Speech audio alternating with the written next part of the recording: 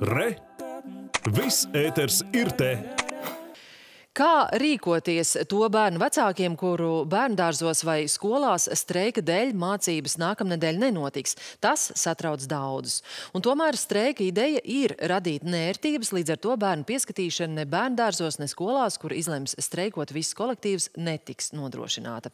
Vismaz nedēļu streikos arī visi teikas vidusskolas mācību spēki. Vairāk Vitas Anstrates sižetā.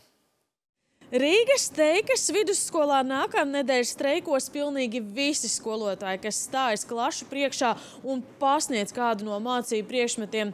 Un praksē tas nozīmē, ka jau pirmdien no rīta un faktiski visas nākamās darba nedēļas garumā vismaz šīs skolas durvis būs slēgtas.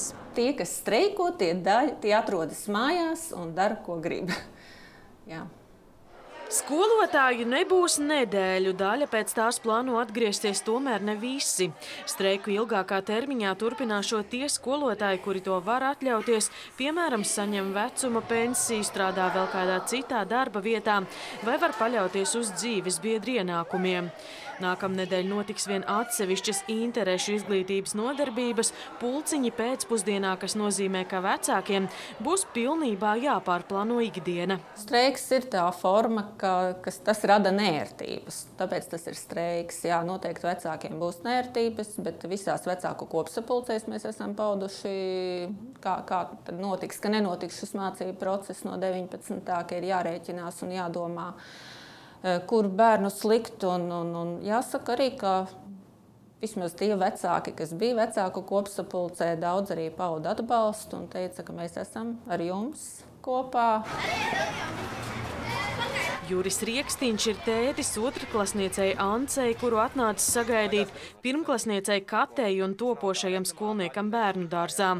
Visi trīs bērni ir vecumā, kurā nevar palikt nepieskatīti. Arī ikdienā bērni vēl nav patstāvīgi. Es strādāju personīgi attālināt arī ikdienā, bet nu, nērtība ir tāda, ka kamēr bērns ir mājās, īsti jau pastrādāt nevar. Un, uh, bērns prasa uzmanību, viņš grib uzmanību, un uh, to ir grūti apvienot ar darbu. Līdz ar to ir jāpielāgojas un, un, un, un jāplāno. Un arī bērns jāved ārā ir, un, un, jākustās, un nevar jau visu dienu nosēdēt mājās. Tādā ziņā tā, ne, tādā ziņā tā ir nērtība. Dzīvošot kā vasarā, kad bija brīvlaiks un skolas slēgtas, saka daudz bērnu tētis. Atšķirībā no vasaras atvaļinājums pieaugušajiem nebūšot, un katrai ģimenei būs jāmeklē sev piemērotākais risinājums. Palīdzēs vecvecāki. Streiku riekstiņu ģimene atbalstot, jo redz, ka skolā bērniem patīk un gribētos, lai uzlabotos pedagogu darba apstākļi.